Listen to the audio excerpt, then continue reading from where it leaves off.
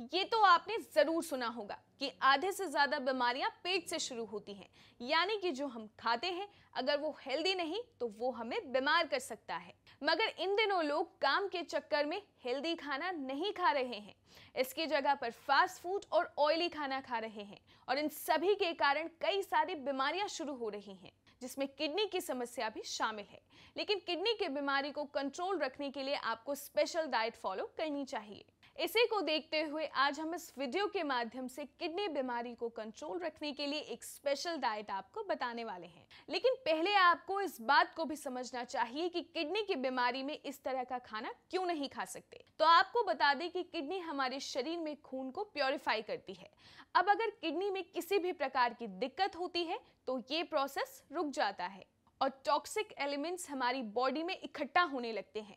अब ऐसे में अगर खान पान में विशेष ध्यान नहीं दिया गया तो खाने के साथ टॉक्सिक एलिमेंट्स और बढ़ने लगते हैं। अब यहाँ पर हमारा फोकस ये होना चाहिए कि हमें किडनी की बीमारी को कम करने के विषय में ध्यान देना पड़ेगा। अब इसके लिए ज़रूरी है कि आप वो खाना खाएँ जिसमें प्रोटीन पोटेशियम और यूरिया की मात्रा कम हो। तो इसके लिए आप सब्जियों में रोज़ाना घिया, टिंडा, तोरी, परवल कच्चा पपीता, हरा कद्दू, हरी मिर्च और प्याज खा सकते हैं।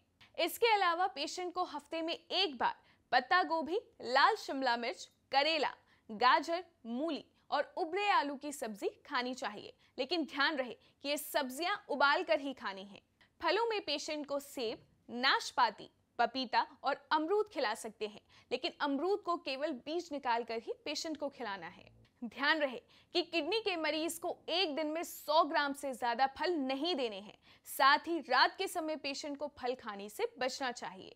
आपने तो सुना ही होगा कि किडनी के बीमारी में डेयरी प्रोडक्ट्स का सेवन नहीं करना चाहिए, क्योंकि इसमें प्रोटीन की मात्रा ज़्यादा होती है। लेकिन डॉक्टर की परमिशन के बाद ही किडनी के मरीज़ डबल टोन या गाय के दूध का सेवन कर सकते हैं। तो वहीं कुछ मरीज़ हफ़्ते में एक बार पनीर भी खा सकते हैं। इसके साथ ही आप एक बार एग व्हाइट भी ले सकते हैं, लेकिन केवल डॉक्टर की सलाह के बाद। तो वही बात करें कि किडनी की बीमारी में आप कौन सा अनाज खा सकते हैं। तो इसमें आप गेहूँ के आटे से बनी रोटी, धुली मूंग की दाल और अगर डॉक्टर सलाह दें तो अरहर की दाल का सेवन और उबले हुए चावल खा सकते हैं।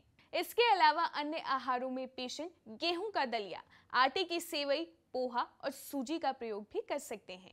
लेकिन हम फिर से कहेंगे कि किडनी की बीमारी से जूझ रहे लोग एक बार ये डाइट लेने से पहले डॉक्टर की सलाह ज़रूर लें। तो आज हमने जाना कि किडनी की बीमारी को कंट्रोल में रखने के लिए किस प्रकार की डाइट को फॉलो करना चाहिए। अगर आपको ये वीडियो पसंद आया तो इसे अभी लाइक करें। साथ ही अगर हमारे चैनल पर पहली बार आए हैं तो चैनल को सब्सक्राइब करना बिल्कुल भी ना भूलें। ऐसे ही किडनी से रिलेटेड और वीडियोस के लिए बने रहें हमारे साथ। तब तक के लिए अपना ख्याल रखें हेल्दी रहें। नमस्कार।